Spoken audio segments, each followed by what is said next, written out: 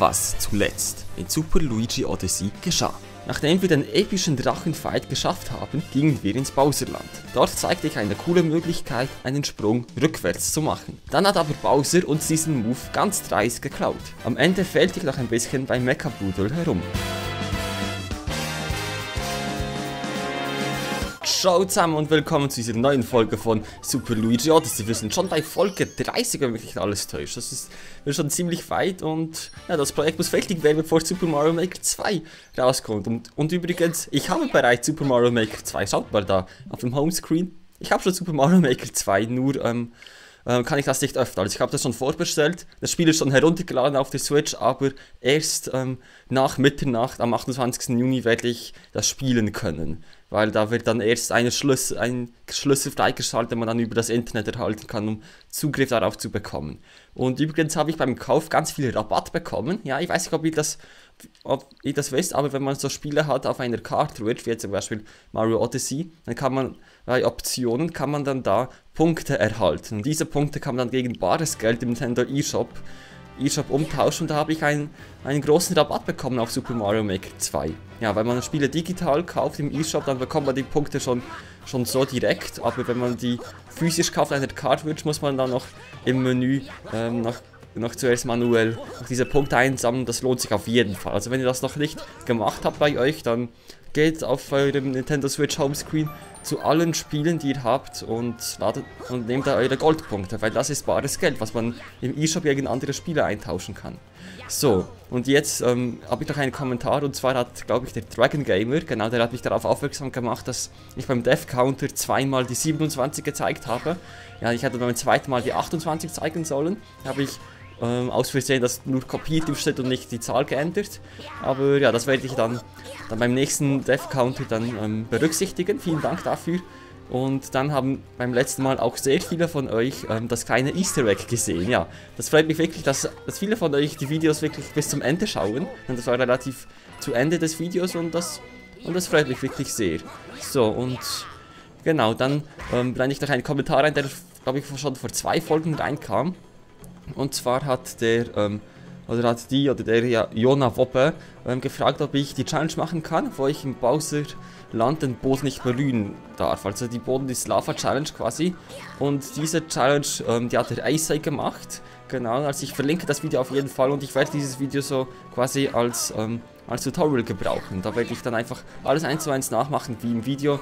Ich werde wahrscheinlich auch schneiden und so, also nicht alles am Stück machen, aber die Challenge ist, glaube ich, ganz cool. Es hat mir schon mal jemand auf Discord vorgeschlagen, diese Challenge zu machen, mit eigenen Regeln und so, aber ich glaube, ich mache es, mach es einfach so wie der ähm, Eise bei dem Video und das ist jetzt äh, der Tod Nummer 29, glaube ich, ja, genau. So, und jetzt, ähm, genau, jetzt machen wir diese Challenge. Also, diese Challenge beginnt einfach bei der Odyssee. Und wir dürfen einfach den Boden nicht berühren und müssen bis zum Battlefield kommen. Also bis, bis dahin.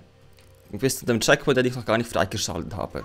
Okay, und wenn ich fehle, dann werde ich nicht direkt von, vom ganz Beginn wieder neu beginnen oder wie auch immer. Ich werde einfach ganz kurz vorher quasi, ich werde unendlich viele Checkpoints haben. Ich will jetzt nicht allzu lange daran hängen. Und jetzt muss ich, glaube ich, irgendwie von Gumbas abbouncen. Okay, mal sehen, ob ich das schaffe.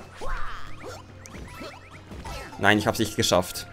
So, dann bin ich wieder da und werde mal schauen, ob ich, ob ich jetzt vielleicht besser bin. Ja, das sieht sehr, sehr gut aus. Okay, dann haben wir, sind wir jetzt auf dieser, auf dieser Insel und ich will... Ich will... Nein, Moment mal. Und oh, jetzt drücke ich mal den Stick ganz nach hinten. Und ah, das geht, das geht. Ich muss den Stick nur noch ein bisschen weniger nach hinten drücken. Okay, ich dachte, es wäre, es wäre schwieriger. Okay, mal sehen. Jetzt drücke ich den Stick ein bisschen nach hinten. Das ist nicht, nicht so schwierig auf diesem äh, Ding da zu lang. Jetzt muss ich im Video schauen, wie es weitergeht. Okay, das wird jetzt ziemlich kompliziert. Also ich werde diesen Strommaster quasi als Checkpoint gebrauchen. Und zwar muss ich mich jetzt da, da dranhangen. Und dann muss ich diesen Peakpass da kapern. Aber der Peak, als Peakpass darf ich natürlich auch nicht auf dem Boden sein. Und das war jetzt nichts. Ich muss das Ganze ähm, neu laden. Okay, der Plan ist der. Ich muss Cappy so machen und genau dann muss ich den Peakbots einfach nur nach dem richtigen Moment kapern und dann direkt in die Wand stechen. Aber so in etwa geht das. Oh, der andere, der Picos wurde einfach von dem anderen umgebracht, obwohl ich den brauchte. Oh, dieser böse Pikmatz. Jetzt ist jetzt. Yes, ich hab's geschafft. Ich hab's geschafft, ohne den Boden zu berühren. Okay, jetzt muss ich, jetzt äh, muss ich, glaube ich, irgendwie da ein, da äh, den Stapel einstecken. Ich glaube irgendwie so. Yes, yes, yes, ich hab's. Ich hab's. Nein, nein, nein. Oh, ich hab's wieder. Und ich hab's nicht geschafft. Äh. So, jetzt habe ich es geschafft. Bin auf den Kist gelandet. Das zählt jetzt nicht als Boden. Und jetzt muss ich nur noch zur Stromleitung hin. Und das sollte dann wirklich nicht so schwierig sein. Ja. Jetzt kann ich da rausgehen und die Stromleitung kapeln. So, gut. Jetzt bin ich endlich auf der, auf der nächsten Insel. Äh, ja komm, das, das zählt jetzt mal. Ich will jetzt nicht so streng. Ich will einfach nur die Route zeigen und so. Ähm, ja. Jetzt geht es wahrscheinlich da. Dahin. Genau. Und dann und dann da auf die Blöcke wahrscheinlich. Und dann muss ich wieder im Video schauen, wie es weitergeht. Da ist, glaube ich, ein unsicht unsichtbarer Block, oder? Genau. Da kann ich jetzt hoch. Und da muss ich jetzt schauen. Und ich glaube, ich glaube, da kann man äh, es schaffen, da rauf zu kommen. Ja.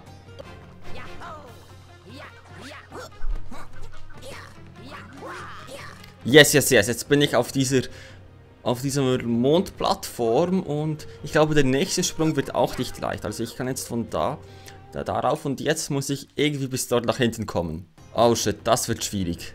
Das wird schwierig. Also ich schaue jetzt immer bei dem Video von Ice wie das geht und da muss ich jetzt einen Cappy Roll Jump machen und dann irgendwie mit Wandsprung oder so. Ich gehe geh mal so hin und zeige euch, wie es geht. Ich muss auf diese Kissen darauf. Und dann muss ich dann irgendwie mit Cappy Roll Jump, dann irgendwie mit Wandsprung. Wandsprung und so muss ich dann irgendwie da raufkommen. Jetzt muss ich das sowieso nochmal neu laden, damit die Kiste ähm, neu spawnt.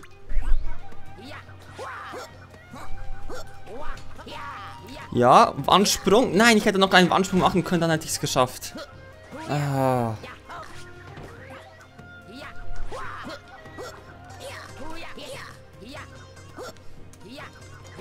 Yes, ich hab's geschafft mit den Joy-Cons. Mit den Joy-Cons habe ich geschafft. So, jetzt auf den Kisten darf ich stehen. Das darf ich auch machen und jetzt geht's weiter. Und ich wechsle wieder auf den Pro Controller. Keine Ahnung, was mit der Bewegungssteuerung irgendwie besser mit den Joy-Cons. So und, ah, egal. Ich schaffe das irgendwie nicht so da, dazu landen. Äh, ich will das schaffen, genau so geht das.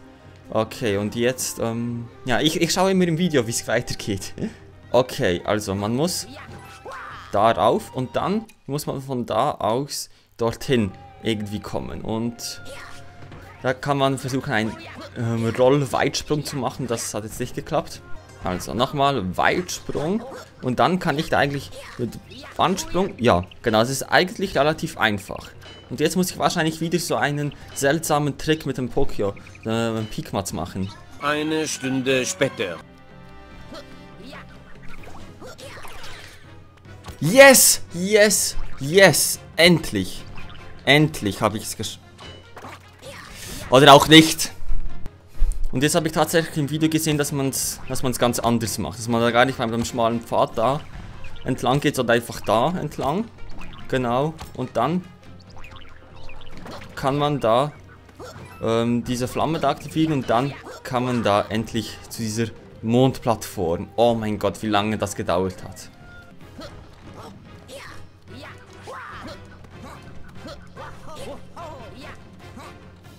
Und so einfach, ja, perfekt. Perfekt. Okay, dann habe ich auch diesen, dieses Gebiet geschafft. Jetzt kommt der Shop. Das ist ein sehr kurzes Kapitel. Ach, egal, ich, ich bin jetzt nicht so streng bei dieser Challenge. Ich mache es auch alles so etappenweise, weil sonst würde es viel zu lange dauern. Ich bin auch schon, auch schon so fast eine halbe Stunde schon mal, schon mal aufnehmen. Ich habe keine Ahnung, wie das dann am Ende dann mit dem Video sein wird. Also ich habe gar keine Ahnung, wie es dann zusammengeschnitten äh, so sein wird. Gut, ich glaube, da äh, muss ich einfach einen Cappy Roll Jump machen und dann komme ich da eigentlich ganz leicht dahin. Okay. Dann aktiviere noch schnell den Checkpoint, falls ich sterben sollte. Dann spawn ich wieder da. Aber dann geht die Challenge da natürlich weiter. Und dann ist, glaube ich, ganz klar, müssen wir darauf und... Oh, jetzt habe ich gerade etwas, etwas bemerkt. Und zwar ist es im Video vom Isay, also weil ich das Ganze nachschaue, ähm, ein bisschen anders, weil er hat schon die ganze Story geschafft, also schon Bowser besiegt, schon Peach gerettet und so. Und da, in diesem Fall, gibt es, ähm, gibt es, gibt es da solche Kisten und, äh, naja, dann, ja, gibt es halt jetzt bei mir keine Kisten, deshalb, ähm, ja, mache ich so, als ob da jetzt Kisten wären. Also ich blende vielleicht mal ein Bild ein, wie es aussehen sollte und dann mache ich halt die Challenge so, ja. Also, ich habe jetzt gar nicht da, da, daran gedacht. Also eigentlich ähm, sollte man diese Challenge machen, wenn man schon mit der kompletten Hauptstory durch ist. Aber ja, dann lassen wir das mal zählen. Und jetzt ähm, muss ich wieder was mit dem, Pikmats machen wahrscheinlich. Oh shit, ich habe gerade gesehen, wie, wie er es will. Und zwar ähm, muss man da im Wasser jetzt quasi diesen, wieder diesen Trick machen mit dem Pikmats. Und das hat sicher geklappt. Und dann muss man Pikmats in dieses ganz kleine Dings da, da muss man da reinstecken dann mit dem Schnabel und das ist dann so, so verdammt genau. Also irgendwie so. Und dann muss man wirklich den Moment, genau, muss man dann da reinstecken. Ah. Eine Minute 37 Sekunden später. Ich habe eine andere Idee. Ich, ich weiß, dass ich Peakbats ja auch in den Fragezeichenblock stecken kann und dann kann ich das doch sicherlich auch so machen. Das sollte dann viel einfacher sein, wenn der Peakbats dann in den Fragezeichenblock, welcher schon aktiviert ist, rein, reinsteche oder wie auch immer. Das sollte dann noch viel einfacher sein. Ich mal sehen. Ich mache jetzt wieder diesen Trick. So, und dann... Ja! Ich bin ein, ein Genie. Ich, hab's, ich habe die Challenge einfacher gemacht. So. Okay, und jetzt ähm, muss ich wieder im Video nachschauen, wie es weitergeht. Okay, jetzt muss ich da irgendwie da landen. Ey, perfekt. Das funktioniert ja wirklich gut. Jetzt muss ich da einstecken, genau. Und dann kann ich da weiter. Und dann kann ich auf diese Kisten. Genau, und jetzt, ähm, und jetzt ist mein nächstes Ziel, ähm, da. Und da muss ich jetzt so einen Stampfattackensprung machen und dann ist es am klügsten, wenn man da einfach Wandsprünge macht, weil da ist man am sichersten, eigentlich. Und dann kann man darauf, ja perfekt. Und jetzt sind wir da und jetzt müssen wir da wieder so einen Trick mit dem Peakquartz machen. Ich, ich aktiviere mal ganz schnell den Checkpoint, dass ich, wenn ich sterbe, wieder da bin. Dann gehe ich wieder da zurück, mache die Challenge und äh, der Peakquartz soll nicht da sein. Er soll, er soll da, da sein und rundherum gehen. Bitte, sehr, wenn, das, wenn du das willst und da. Ah, deshalb habe ich den Checkpoint aktiviert. und da habe ich eine lila Münze eingesammelt. Yes! Ey, das war gar nicht so schwierig. Das war eigentlich gar nicht so schwierig. Ja, ich muss es irgendwie schaffen, auf diese Wand zu kommen. Egal, ich habe es nicht geschafft, aber das nehme ich mal so als Checkpoint. Und ja, eigentlich ist, eigentlich ist es nicht so schwierig.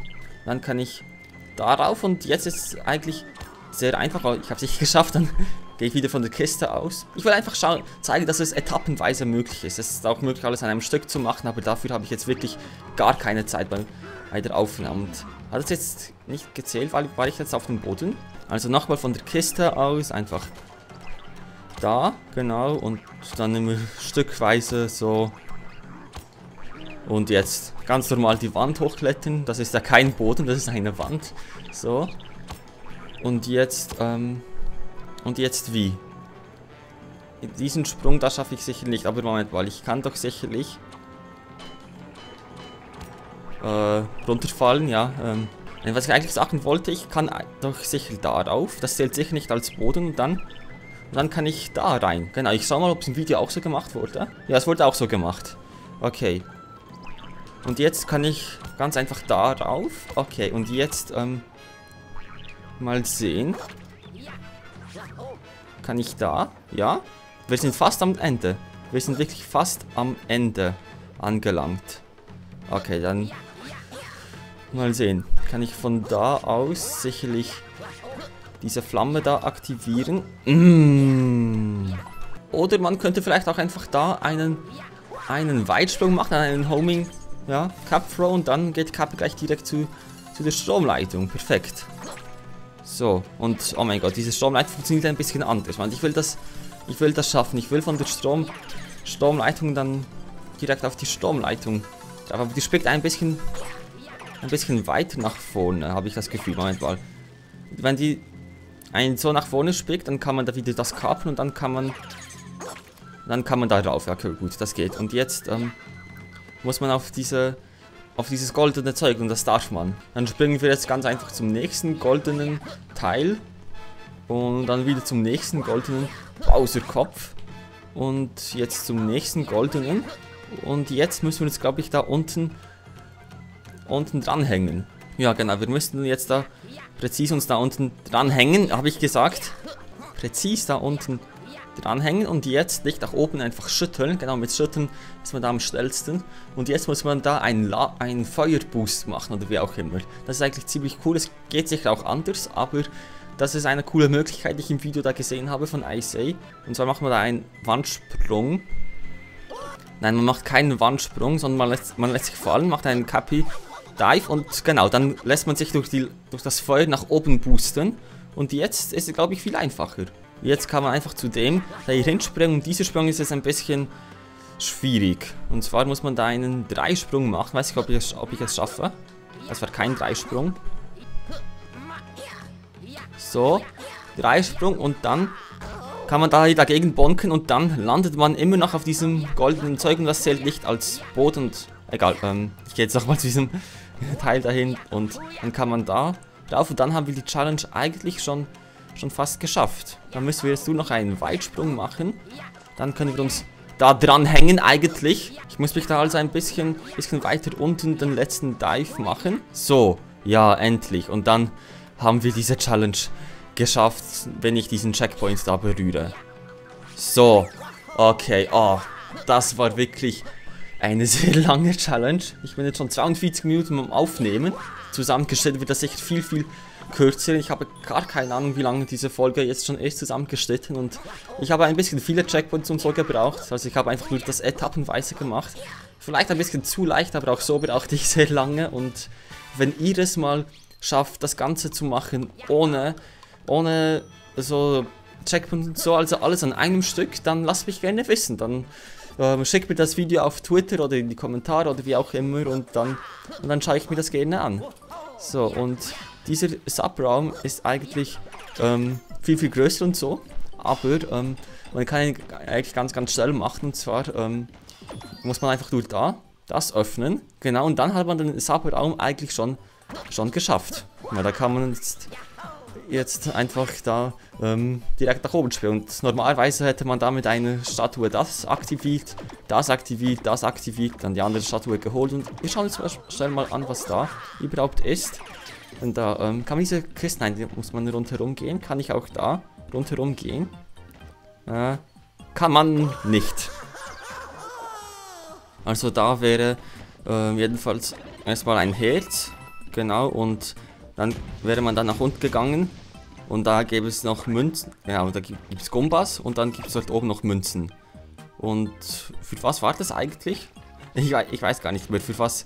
Ah, ich glaube, dann kommt man da weit nach oben oder irgendwie so. Jedenfalls nehme ich dazu erstmal diese Münzen. Und das, genau, das fehlt jetzt ganz nach oben und dort wäre dann, und dort wäre dann diese eine, diese eine Brücke. Also man könnte dann mit, mit diesen Statuen kann man ja nicht springen, aber wenn man diesen Switch da aktiviert hätte, ähm, wäre da eine Brücke gespawnt und dann hätte man mit diesem Plattform dann nach oben gehen können. Aber wir brauchen nur diesen einen Switch da ganz am Anfang und dann äh, müssen wir da ke keine Jesus da hier transportieren, denn wir können ganz leicht da mit einem Seitwärtssprung so da rauf zu diesem Mond und dann noch rauf zum Hauptmond. Äh, nein, nochmal.